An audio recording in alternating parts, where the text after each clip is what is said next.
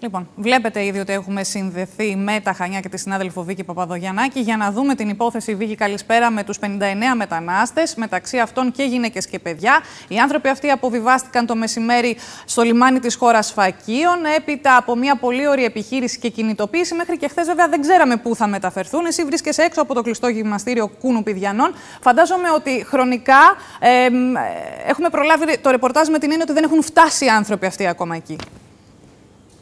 Πολύ σωστά, Κατέρινα. Καλησπέρα, καλησπέρα στους τηλεθεατές μας από το κλειστό κολυμπητήριο Χανίων.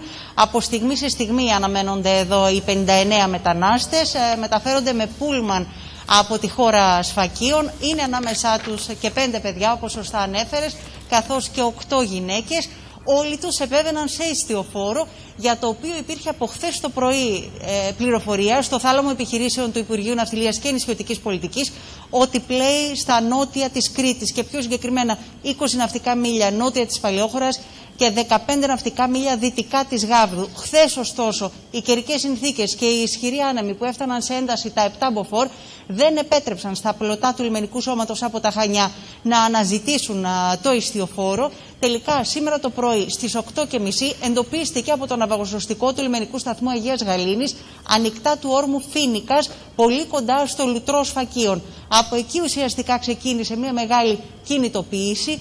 Μεταφέρθηκε το ιστιοφόρο, οδηγήθηκε στην οδεία μάλλον του ναυαγοσωστικού του λιμενικού σώματος στο λιμάνι της χώρας Φακίων και εκεί παρέμειναν οι 59 μετανάστες μέχρι και αργά σήμερα το απόγευμα, Κατερίνα. Και οι διαβουλεύσεις ήταν, Βίκη, πάρα πολλές αναφορικά με το πού θα φιλοξενηθούν οι άνθρωποι αυτοί. Στα σφακιά, από ό,τι έλεγαν οι ηθήνοντες, δεν υπάρχει αντίστοιχη δομή που θα μπορούσε ε, να προχωρήσει σε ένα τέτοιο, να υποστηρίξει ένα τέτοιο σχεδιασμό. Από την πλευρά του, ο Δήμος Χανίων κατέθεσε και εκείνος από τη σειρά του τις ενστάσεις του, με την έννοια ότι στον ίδιο χώρο ε, φιλοξενούνταν 32 άτομα επίσης.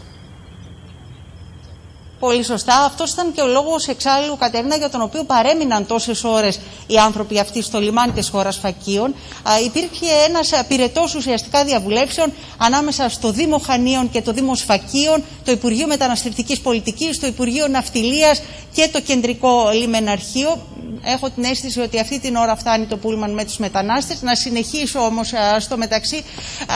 τελικά, Κατερίνα, κυρίες και κύριοι, με παρέμβαση του Υπουργείου Μεταναστευτικής πολιτικής και αφού αναχώρησαν από εδώ οι μετανάστες που είχαν φτάσει με το προηγούμενο καραβάνι, αναχώρησαν για το λιμάνι της Σούδας προκειμένου να μεταφερθούν στην Αθήνα, αποφασίστηκε να φιλοξενηθούν εδώ στο κλειστό κολυμπητήριο. Είναι η δεύτερη φορά, η τρίτη φορά, Κατερίνα, μέσα σε ένα μήνα που το συγκεκριμένη, συγκεκριμένη αθλητική υποδομή, που ουδέποτε λειτουργήσε ως αθλητική υποδομή, χρησιμοποιείται για τη φιλοξενία μεταναστών. Και το θέμα είναι τώρα ότι οι εξελίξεις αυτές καταγράφονται μέσα στο πλαίσιο του κορονοϊού.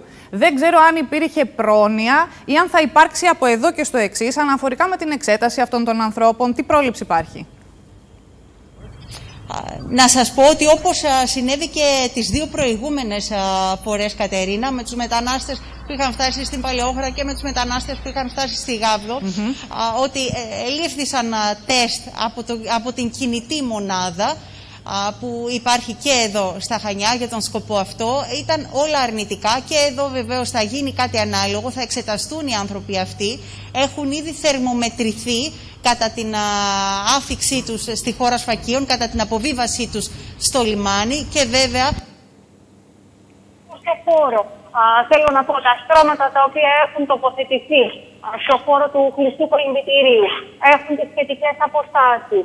Οι άνθρωποι οι οποίοι βρίσκονται εδώ από τον Ερυθρό Σαδρό και από τις α, λιμενικές αρχές φορούν φυσικά τις προστατευτικές μάσκες, μάσκες έχουν χορηγηθεί και στους ίδιους τους μετανάστες.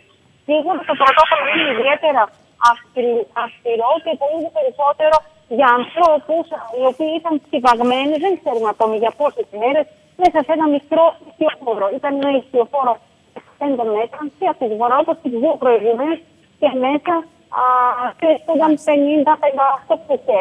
Βλέπετε πάντως ότι όλοι οι οδηγοί, ο οδηγός του λεωφορείου και οι επιβαίνοντες φορούν τι ειδικέ στολέ, βέβαια τι μάσκε τους.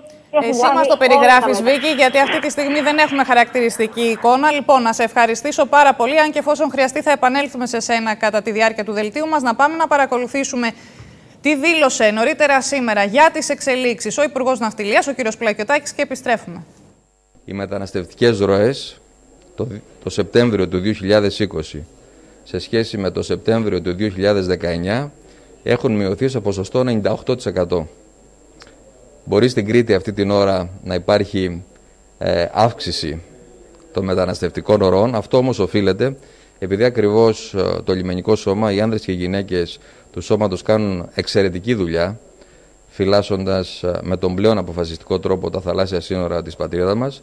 Αυτή την ώρα το ενδεχόμενο που αντιμετωπίζουμε είναι ότι πλέον χρησιμοποιούν από μικρά ιστιοπλοϊκά, μικρά γιότ, αλλιευτικά, πλέον στα διεθνή ύδατα ε, και νοτίως της Κρήτης, με αποτέλεσμα ε, να έχουμε τα φαινόμενα που ζήσαμε και πρόσφατα με το περιστατικό στη Χάλκη, όπου και εδώ το λιμενικό σώμα έκανε μια τεράστια υπερπροσπάθεια, έσωσε κοντά στις, στους 100 συνανθρώπους μας,